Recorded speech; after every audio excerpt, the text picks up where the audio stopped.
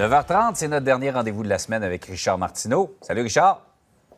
Salut, Jean salut Jean-François. Euh, bon, salut Jean-François, tu m'entends? Oui, écoute, la Société canadienne du cancer, sur ses publications, parle du col de l'utérus, OK? Mm. Et s'excuse auprès des personnes trans et non binaires euh, d'utiliser le mot utérus parce qu'ils disent on devrait peut-être utiliser le mot trou en avant.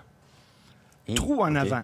Je ne sais pas où exactement ils ont pris leur cours d'anatomie. moi, je ne suis pas un grand expert. Là, j'ai un peu peur, je t'avoue. Regarde, là. Je suis pas, suis pas un grand expert. Parce que c'est par là, c'est par là que je vais. Bon, regarde. Ça, c'est une femme, OK? Non, mais t'étais à bonne position avant, genre, on la voit pas. Là. J'étais à bonne position Oui, c'est bon, c'est bon, c'est bon. Là, voilà. OK. ça, c'est une femme. Bon, alors, ça, c'est l'utérus, OK? Si je comprends bien. Ça, c'est le vagin. Et ici, c'est la vulve, OK? Alors, ils disent qu'il faut appeler l'utérus le trou en avant. Je vous dis tout de suite, là, si votre utérus est un trou en avant, allez tout de suite à l'hôpital. Il y a quelque chose qui fonctionne pas chez vous. OK? Alors, l'utérus, c'est à l'intérieur du ventre. Donc, c'est la Société canadienne du cancer là, qui s'occupe du col de l'utérus qui ne savent même pas c'est où. Donc, écoutez, je m'excuse aussi d'avoir dit que c'est un dessin de femme, parce qu'on n'a pas le droit de dire ça maintenant, femme, c'est un dessin d'un individu numéro un. Tiens, euh, Richard, merci beaucoup de la précision, extrêmement utile ce matin. Hey, euh, on n'a jamais vu ça au Québec, un gros projet qui va subir un important retard. On parle ici des travaux au tunnel Louis-Polyte Lafontaine. Oui, c'est ça. On nous apprend ça dans la presse aujourd'hui. Alors, ça va être un an de retard. Euh, ça va coûter 2,5 milliards, hein, les travaux dans le euh, tunnel Hippolyte-Lafontaine. On dit, et là, je te cite ça, on dit c'est un chantier excessivement complexe. Arrête donc, toi. Je savais pas c'est un chantier complexe. Et on a appris aussi cette semaine que le dossier santé numérique ça va coûter plus cher. On nous disait que ça mhm. coûtait 1,5 milliard de dollars, mais là, il faut moderniser l'imagerie médicale, il faut aussi impliquer la solution d'accès aux données de santé. Bref, ça va finir par coûter 2,5 milliards de dollars. Et là, les gens disent, comment ils font pour calculer les échéanciers, les dates mhm. d'échéance, puis combien ça va coûter, parce qu'ils se trompent tout le temps. Euh, j'ai fait ma recherche, c'est comme ça que ça fonctionne. Regarde bien ça. Décidément, ah, tu as des accessoires ce matin. Alors, oui. Alors, ça, c'est le bac du projet.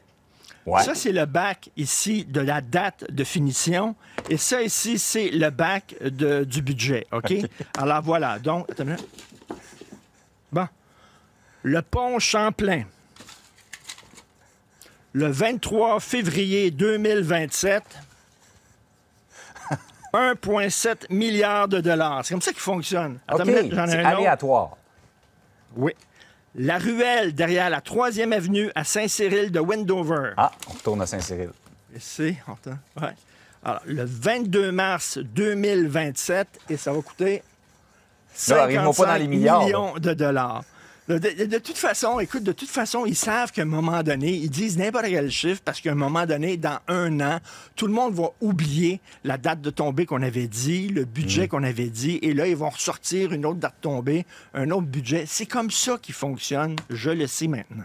Oui, en tout cas, c'est euh, quand on se lance là-dedans, il semble qu'on n'ait pas euh, l'heure juste parce que c'est toujours plus long et plus cher que ce qu'on avait annoncé au début. Hey, Richard, un permis pour pouvoir jouer au hockey dans la rue euh, au Cèdre en Montérégie. Comment tu trouves ça? Bien, ils ont des gros problèmes au Cèdre en Montérégie parce que je ne sais pas ce qui se passe dans cette ville-là, mais euh, les enfants jouent dehors. Partout au Québec, tu vas dans des parcs, tu vas dans les ruelles, il n'y a pas d'enfants. Tous les enfants sont à maison devant leur écran. Mais au CED, je ne sais pas ce qu'il y a dans l'eau, les enfants jouent dehors. Et là, ça dérange les gens. Et là, écoute bien ça. Alors, il va falloir avoir un permis. Au Cèdre, ceux qui veulent jouer dans la rue doivent remplir un formulaire, faire signer 66% des résidents de leur rue, pas 65 là. S'il y en a une, madame fatigante, qui ne veut pas, t'es faite, là. Alors, faire signer 66% des résidents de leur rue, présenter leur demande au directeur des loisirs qui va analyser la demande, qui va la transmettre au conseil municipal pour qu'il se prononce.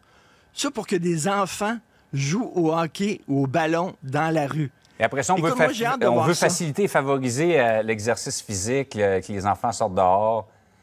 C'est-tu assez fou? Mais moi, là, j'ai hâte de voir le jour où il y a des enfants qui vont jouer dans la rue sans permission, sans permis, que Marcel va se Ah. Marcel. Mon Marcel, là, avec le crayon, le fonctionnaire, là.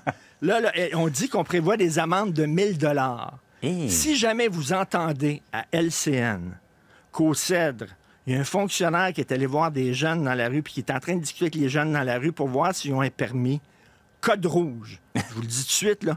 Appuyez sur le bouton, propulsez euh, votre journaliste Yves Poirier, pour qu'il est tout de suite là. Le avec une à tête chercheuse. Oui, oui, oui, là, là, là, il- qui sort de sa soute, là, c'est le code rouge. Pouf! Yves Poirier part, il arrive au CED, puis moi, je veux voir ça. Marcel, devant une gang d'enfants qui jouent au ballon, en disant Est-ce que vous aviez votre permis?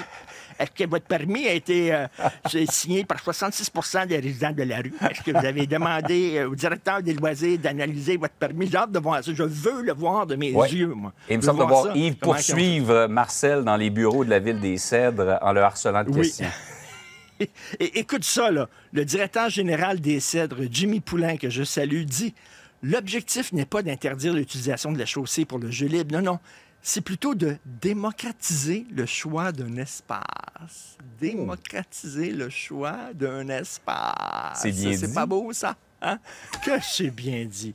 Alors voilà, ça prend maintenant euh, un permis pour aller jouer dehors. Hey, Richard, je trouve que ça finit Mais bien si la vous semaine. restez à la maison, par exemple, si vous restez à la maison euh, pendant 8 heures par jour devant votre écran, il n'y a aucun problème. là, vous pouvez le faire, vous ne dérangez personne. Il n'y a aucune loi qui empêche ça. Hey, bonne fin de semaine, Richard. Salut, À bon lundi. week-end.